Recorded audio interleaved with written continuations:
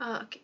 Hi guys, so I uh, went onto Etsy to look for like cat claw thingies and they're all made, most of them are made from filigrees and I didn't want to purchase one because they're way too expensive.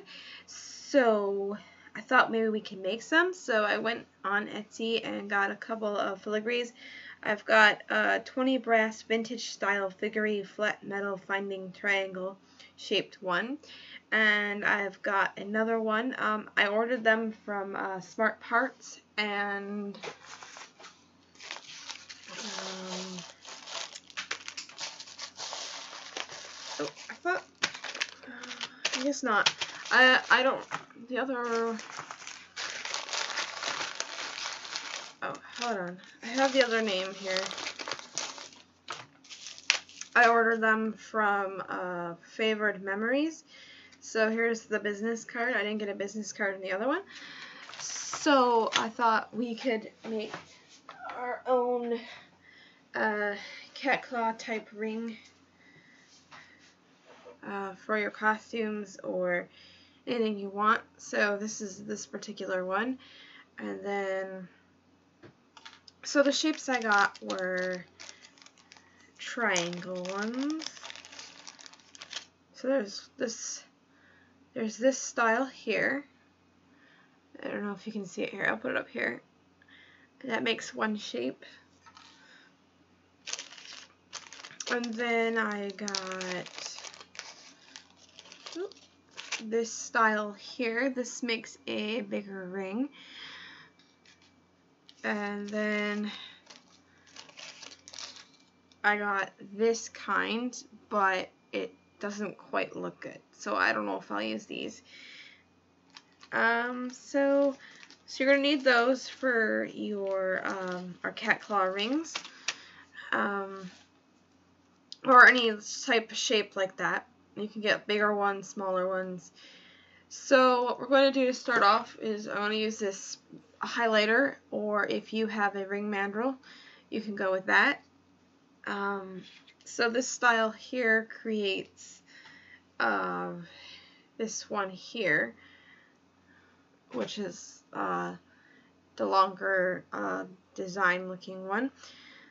Alright, so to do this, to start, you are going to take your ring mandrel or your uh,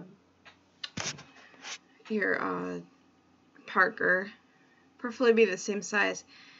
Um, these are easy to bend, so you're just gonna bring one side down like this.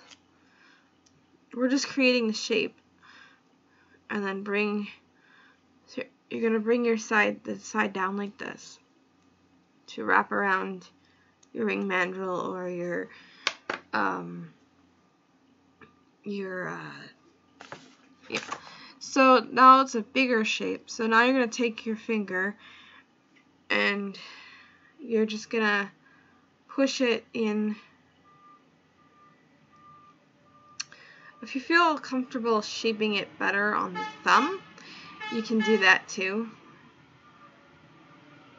And then you're going to try to round round your edges up here.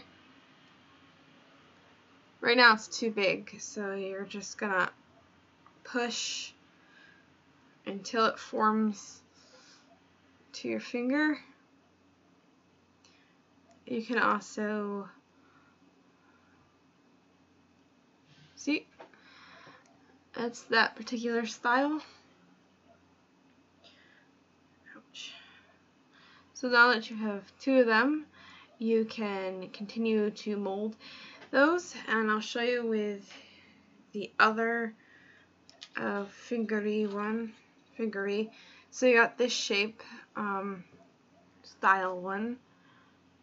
This one you can use yet again your ring mandrel or your marker and you're just gonna lay it flat and push down like this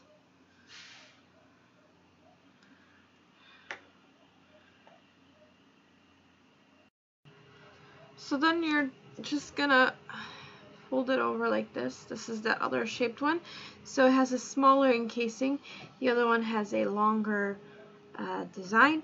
So like I said, you're just going to repeat the steps and then mold them to your finger.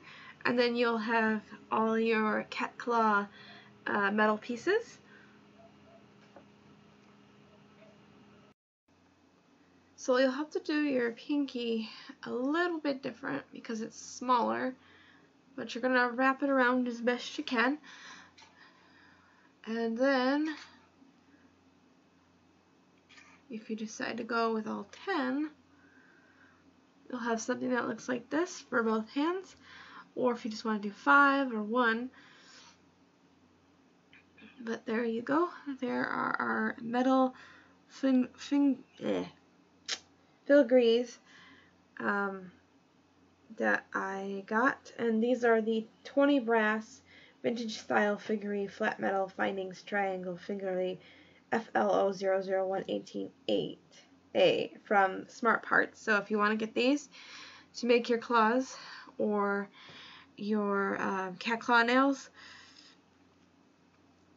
um, I particularly like this design versus the other ones. I mean, the other shaped is this one and then the other one. So I hope you make these uh, cat claw figurines. Um, the, the one I got, these are the these are the ones that I got. They came in 20, so you'll have enough to make two sets if you want. Alright. I hope you like, comment, subscribe, and I hope you make these uh, cat claw, dragon claw fingerlings. I'm using them for a uh, dragon costume that I'm making, like a human version. So I hope you make these. I hope you like, comment, subscribe, and I'll see you guys later. Bye-bye.